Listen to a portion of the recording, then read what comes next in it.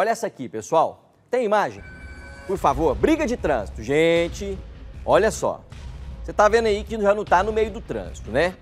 Ali são policiais de CPE, são motociclistas que estão fazendo a gravação ali em volta. Tudo isso quase acaba em tragédia. Olha lá, tiro, tiro. Pois é, você vai escutar o áudio daqui a pouco. Uma briga de trânsito acabou em tiroteio, confusão entre motoboy e um policial militar da reserva. Paulo Vitor, o Tatuzinho, conta essa história tintim por tintim. Põe na tela.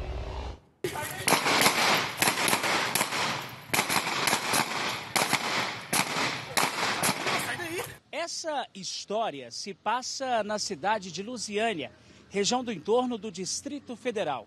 Foi nesta última quinta-feira, era mais ou menos horário do almoço, quando, segundo informações, tudo teria começado com uma pequena briga de trânsito entre um policial militar aposentado do Distrito Federal e um motoboy.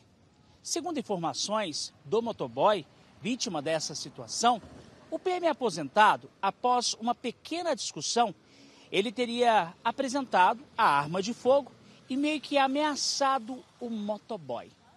Com isso, o motoboy, com medo, assustado, ele acabou imediatamente acionando a polícia militar aqui do estado de Goiás para a cidade de Lusiânia. Até um certo ponto em que o motoboy, na companhia de outros colegas, também motoboys, eles foram acompanhar a chegada da polícia militar até a casa desse policial militar aposentado.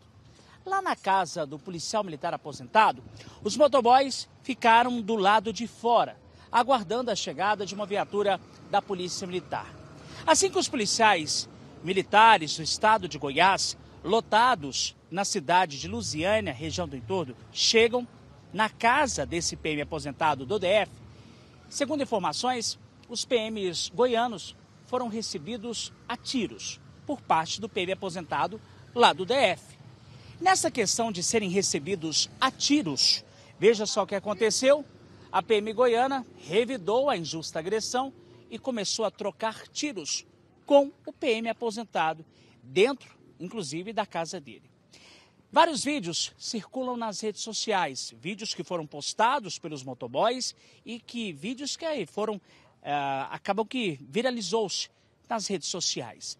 Nesses vídeos é possível ver a movimentação do lado de fora, os motoboys registrando tudo e a correria dos PMs do estado de Goiás, inclusive até os barulhos das trocas de tiros.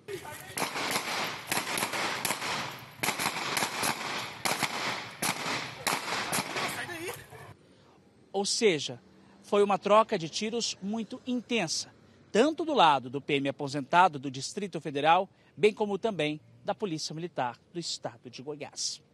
Mas só que nessa história, após alguns minutos, ninguém se feriu. Nem o PM aposentado do DF e nem muito menos a Polícia Militar do Estado de Goiás. E também nem os motoboys que estavam do lado de fora acompanhando tudo de perto. Nesta quinta-feira mesmo, após toda essa situação, essa discussão que começou com uma briga de trânsito e terminou-se com essa troca de tiros, o policial militar aposentado do Distrito Federal, que teria ameaçado o motoboy, trocado tiros com a PM do estado de Goiás, ele se apresentou acompanhado de um advogado de defesa aqui na Polícia Civil do Estado de Goiás, segunda delegacia de Valparaíso, ou seja, central de flagrantes da região do entorno. Por que aqui neste local, sendo que toda essa pequena discussão, que culminou-se com uma troca de tiros, aconteceu em Lusiânia? Porque, segundo informações, a delegacia da cidade de Lusiânia passa por uma reforma. E aqui é uma das poucas uh, central de flagrantes da região para registrar esse caso. A gente está apurando ainda, acompanhando de perto, para identificar como o policial militar aposentado ele se apresentou, segundo informações, por livre e espontânea vontade. Não se sabe se ele ficou na condição de preso ou não. Mas a gente está apurando e buscando sempre novas informações.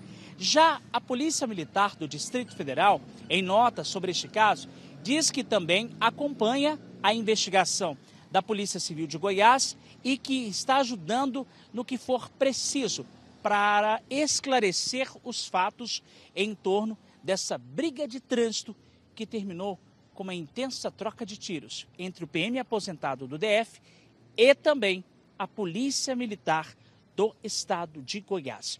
Os motoboys, inclusive, muito unidos, fizeram um pequeno manifesto pedindo, inclusive, por segurança e principalmente por justiça neste caso.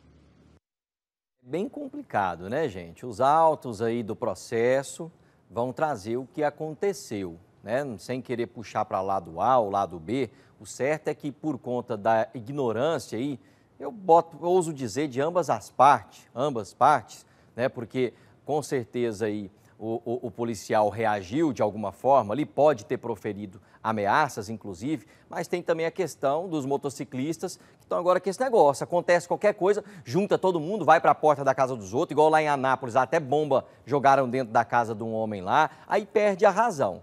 Então não é assim. Aí uma coisa que era um negocinho desse tamanhozinho ganha uma proporção imensa. Nesse caso aí, ó, por muito pouco pessoas não perderam a vida. Os policiais que foram atender a ocorrência, né, se tivesse rolado bala perdida ali, os motoboys que estavam ali, no mínimo uns 10, ou mesmo o dono da casa, né, que entrou para dentro da casa dele ali, quando o policial subiu em cima do muro. Tem a imagem do início aí, com o barulho? O policial sobe em cima do muro, na hora que ele coloca a cara para dentro, olha lá, ó Ó, na hora que ele coloca a cara. Ó, é, aí já está na hora dos tiros. Na hora que ele coloca a cara para dentro ali do muro, o, o, o, outro policial da reserva lá dentro da casa dele. De, olha lá, ó. É essa hora lá, ó. Olha lá, ó. O policial da reserva. Olha lá. Aí, já desceu ali porque o cara disparou. Né? Então é bem complicado isso aí, pessoal. O que está faltando? Está faltando o pessoal ter mais calma, ter mais tolerância. E aí é da parte de todo mundo. Isso aí poderia ter sido evitado. Ainda bem que uma tragédia não aconteceu. Agora, as causas, o que, que aconteceu e tudo mais, vai ser apurado pela polícia.